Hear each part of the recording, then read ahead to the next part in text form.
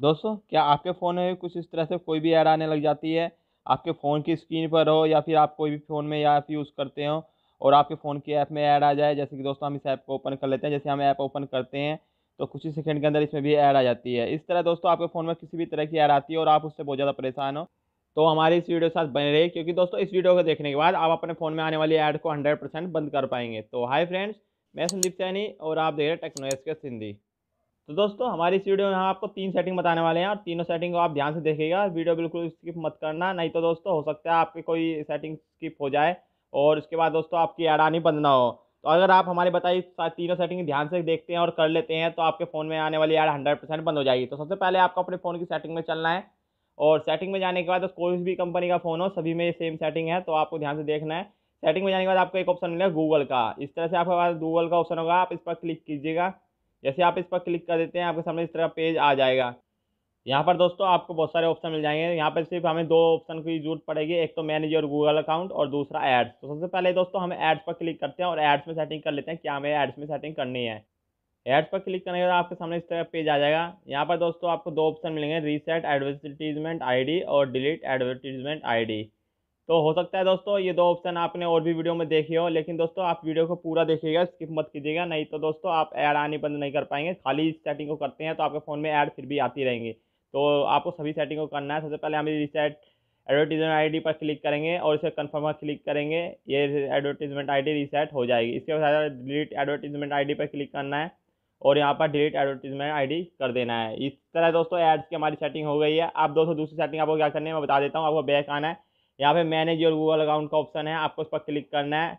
जो ही मैं सेटिंग बताऊँगा, अगर आपके फ़ोन में कई जी मेल है तो सभी में एक एक करके आपको सेटिंग करनी होगी। तो सबसे पहले आप मैनेज योर गूगल अकाउंट पर क्लिक कीजिए, हमारी जी मेल सिलेक्ट है।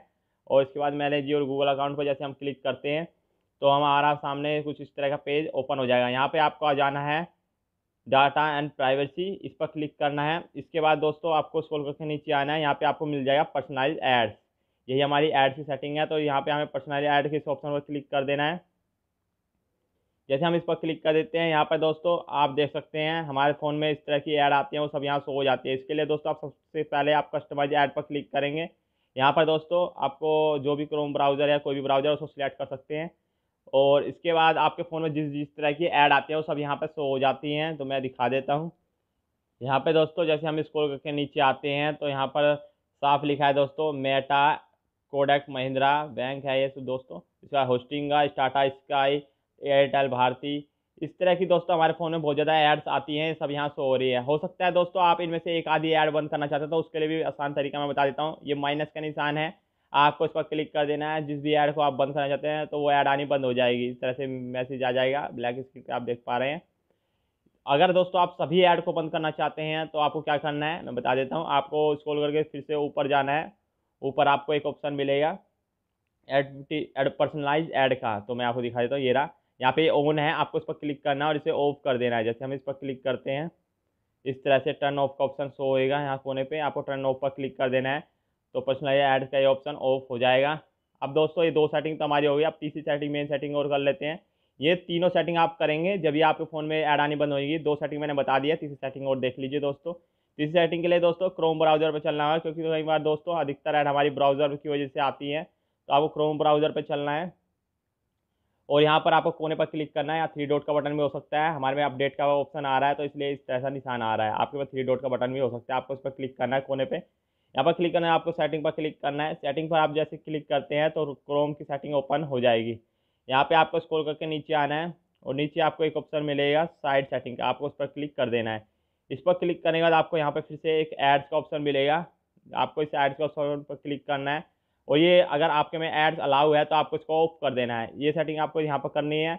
इसके बाद दोस्तों क्रोम ब्राउज़र में आपको एक और सेटिंग करनी है, मैं आपको बता देता हूँ। आपको यहाँ से बैक आना है। बैक आने के बाद दोस्तों आपको एक कुकीज़ का ऑप्शन मिलेगा। कुकीज़ आपके में अलाउ होगा या फिर इस तरह से सिलेक्ट होगा जैसे आप हमारे में देख पा रहे हैं। यहाँ पर दोस्तों ब्लॉक ऑल कुकीज़ यहाँ पर आपको क्लिक करना है। क्योंकि दोस्तों, बहुत सी वेबसाइट ऐसी होती हैं जो हमारे कुकीज़ एक्सेप्ट मांगती हैं और उसके बाद दोस्तों उसी तरह की हमारे फ़ोन में ऐड आनी शुरू हो जाती हैं। तो आपको यहाँ पर इसे ब्लॉक ऑल कुकीज़ पर क्लिक कर देना है।